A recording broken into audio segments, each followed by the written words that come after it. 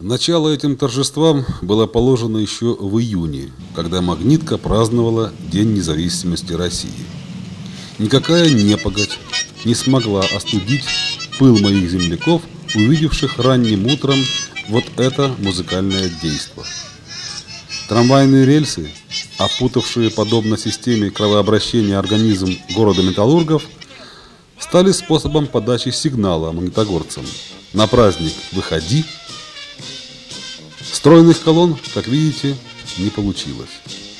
Многие из нас, приученные мудрой соцсистемой к выходу на демонстрацию за отгул или кружку пива, пока не привыкли к участию в праздниках по велению души.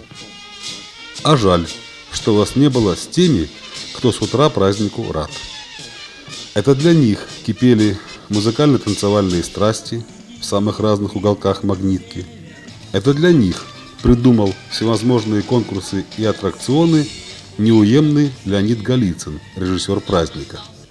Впрочем, те из вас, кто не любит выказывать свою любовь к независимости в уличной толпе, могли это продемонстрировать вечером в удобных креслах городского цирка. Что многие из магнитогорцев и сделали с большим удовольствием и совершенно бесплатно. Давайте в это солнечное прекрасное лето попразднуем по-настоящему и сделаем все, чтобы вот этим вот замечательным, самым юным нашим артистам, детям нашим на нашей земле хорошо жилось.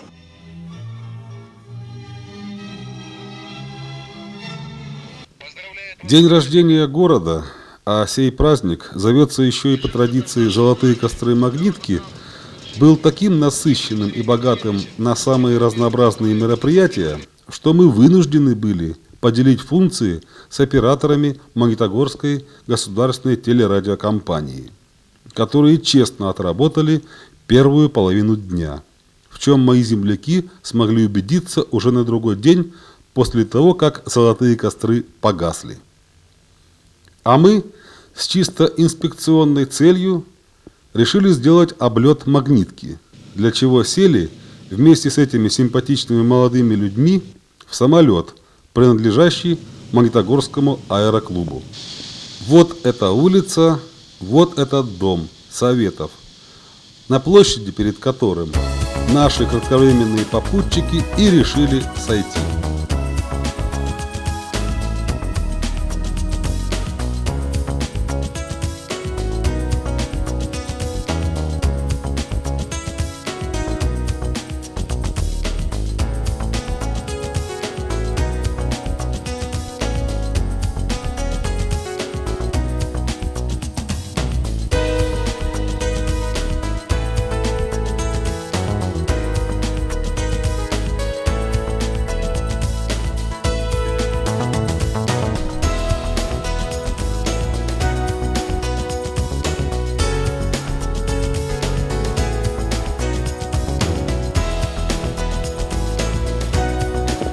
Нам так же быстро покинуть самолет не удалось. И пока мы ехали с левого берега Урала на правый, беспокоились, успеем ли к главным событиям. Как видите, успели. Не в каждом городе, согласитесь, лидер движения «Демократический выбор России» возлагает цветы к монументам. Магнитка этой чести удостоилась. С Егором Тимуровичем мы попрощаемся ненадолго.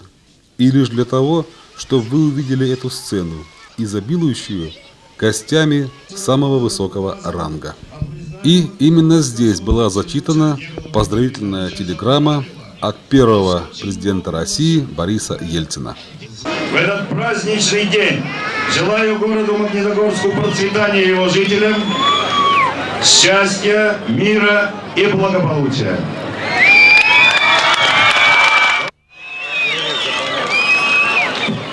Дорогие магнитогорцы, труженики всех поколений, спасибо вам за славный город и за славный труд, и за то, что здесь среди вас совершенно замечательная молодежь, ваши дети и ваши внуки, которым вести вперед славную легендарную магнитку. Наши отцы хотели построить город-сад. И я уверяю вас, что это будет город-сад. И первым шагом, который мы сегодня на этом празднике притворим в жизнь, это решение нашего губернатора начать строить детский ледовый дворец. И он выделяет на это 6 миллиардов рублей. А тем временем Егор Тимурович Гайдар сумел выкроить полчаса в суматошном распорядке праздника и встретился с людьми, для которых он свет в окошке. Ведь именно новоявленные российские бизнесмены первыми поверили гайдаровской мечте сделать Россию суперфинансовой державой. Какое время на дворе, таков Мессия. Это из любимого Вознесенского. Но как не сладко было экс-премьеру среди своих, нужно было все-таки идти в народ. Это который никогда не просил подач. Это город, который всегда кормил себя и кормил Россию. И мы знаем, что именно такие города в последние годы всегда и голосуют за демократию. Мы не в силах рассказать и показать вам в полном объеме все, что происходило в эту ночь на главной площади Магнитки, перед Домом Советов. Но все же мы включили в этот репортаж фрагмент награждения четырех известнейших магнитогорцев званиями «Почетный гражданин города». Это учитель Павел Батехин, музыкант Рафаэль Рахматулин, инженер Дмитрий Вородин и поэт Владилен Машковцев. Будем вечно помнить все, что было, как мы шли от первого костра, как Россию грудью защитила. В грозный час магнитная гора будет вечно все, что мы построим. Будет вечен и прекрасен труд, и потомки городом-героем город наш рабочий назовут. По традиции, которая сложилась за 10 лет разжигания на берегу Урала золотых костров, кульминацией праздника считается, во-первых, сам факт торжественного шествия с факелами, а во-вторых, сюрприз в виде суперпочетного гостя. Однажды таким гостем был Эрих Хонекер, известный нам как первостроитель магнитки и лидер немецких коммунистов, раздавленный рухнувшей Берлинской стеной. Частыми звездами на Магнитогорском небе были дикторы центрального телевидения или эстрадные кумиры. И на сей раз звезда была. И мы вам ее покажем не на сцене, а рядом с ней, покорно ждущей своего выхода. Вика с интересом наблюдала за выступлением доморощенных талантов, среди которых, судя по этим кадрам, нашему оператору Валерию Гиммерверту понравились вот кто.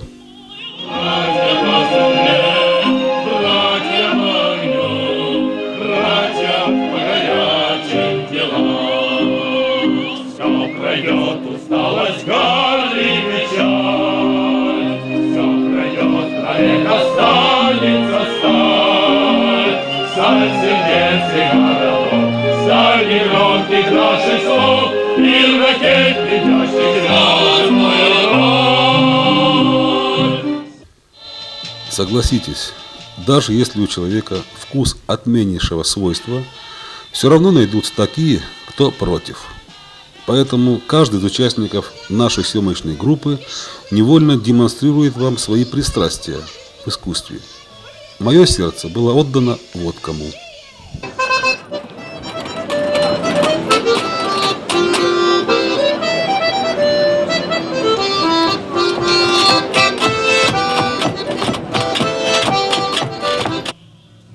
Симпатии нашего технического директора Анатолия Синельникова были отданы этим замечательным девушкам.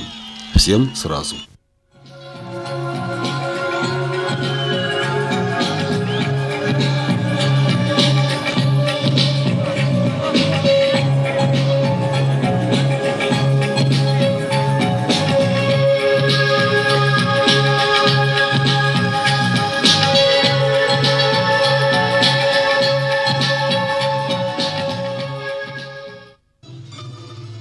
Демонстрация самодеятельных талантов магнитки казалась бесконечной. А впереди еще ждали дискотека, фейерверк. В отличие от этих людей, пока не ведающих, что их сейчас ожидает, вы уже знаете, кто к ним приехал, и прекрасно себе отдаете отчет в том, что сейчас произойдет с моими земляками, не избалованными, как челябинцы, еженедельными наездами звезд российской и зарубежной эстрады в Ледовый дворец «Юность». Ну что ж, завидуйте.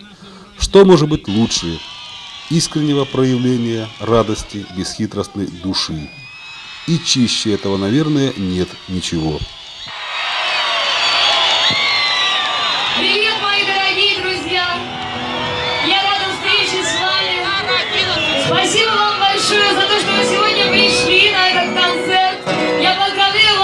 ваш замечательный город с праздником.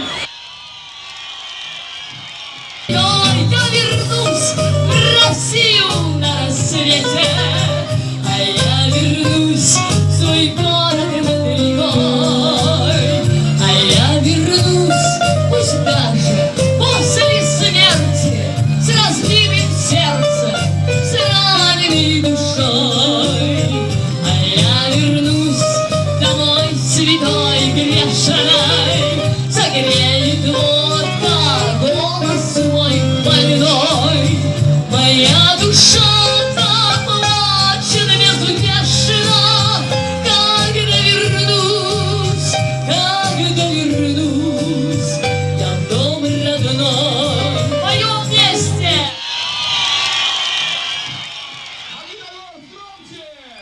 Если я вам скажу, что Господь Бог благоволит магнитогорцам, и вы мне не поверите, я не сильно обижусь, потому что есть у меня против этого убийственный контраргумент.